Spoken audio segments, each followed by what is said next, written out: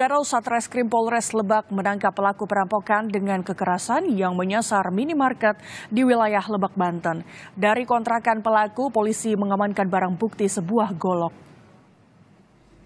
Seperti inilah rekaman video pemantau yang menampilkan aksi kejahatan pelaku di sebuah minimarket di Jalan Rangkas Bitung, Pandeglang. Pelaku masuk ke dalam minimarket berpura-pura menjadi pembeli.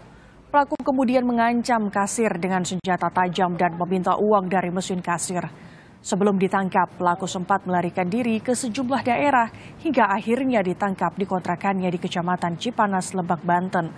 Saat menangkap pelaku, polisi juga menemukan barang bukti berupa golok yang digunakan untuk mengancam korban. Uh, yang sama, tapi beberapa pelaku di 2020 sudah tanggung. Modus operandi dari pelaku Eh, pelaku melakukan pencurian dengan kerasan dengan target ruko-ruko warung waralaba uh, dengan cara berpura-pura menjadi pembeli memasuki toko selanjutnya mengancam karyawan dengan menggunakan senjata tajam agar menyerahkan sejumlah uang dari lagi kasir atau mengambil beberapa sebagian barang yang bisa dijual.